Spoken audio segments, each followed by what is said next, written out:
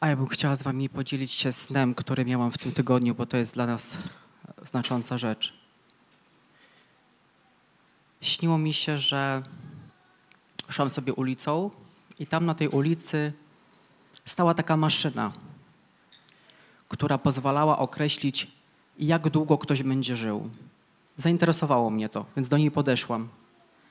I dziewczyna, która obsługiwała tą maszynę, stała przy niej, ona podała mi instrukcję obsługi, w jaki sposób się to interpretuje. I powiedziała do mnie tak, i to jest znaczące, co teraz powiem. Pierwsze 20 lat życia się nie liczy. Od 2002 roku dolicz 50 lat.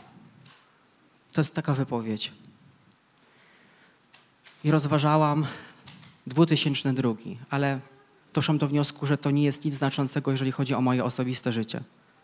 Więc skontaktowałam się z Arturem i pytam, Artur, czy dla ciebie ta data coś oznacza? Masz jakieś w ogóle skojarzenie, o co chodzi? A on mi mówi tak. W 2002 roku podjąłem przed Bogiem decyzję, że będę służyć dla Królestwa. To jest rok powstania służby apostolskiej, którą dzisiaj jesteśmy częścią. I symbolika 20 to jest czas oczekiwania spełnienia czegoś. To jest czas przygotowawczy. To jest pójście w stronę pewnego przełomu. To jest gotowość do tego, żeby zdobywać pewną wiedzę, a być gotowym na podjęcie pewnych radykalnych zmian. Ale w tym śnie było powiedziane, to nie ma większego znaczenia. To był czas przygotowawczy. Kościół się też globalnie w Polsce przygotowywał.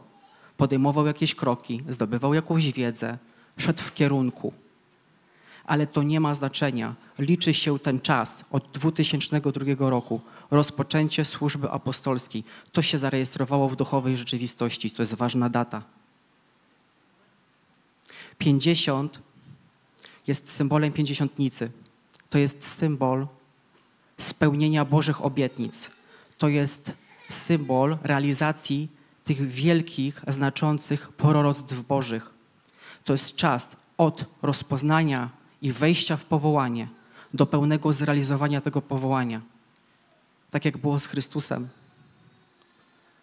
I przekaz jest taki, że jako służba apostolska, jako Kościół mocy, jako cały zespół apostolski obóz Boży, jesteśmy na właściwej drodze i to jest właściwy kierunek. Jak rozpoczęliśmy w wierze, tak wierze zakończymy.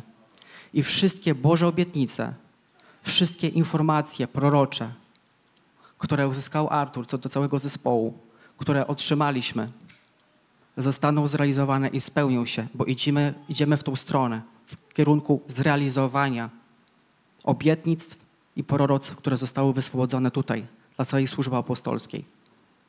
I tym się chciałem z wami podzielić.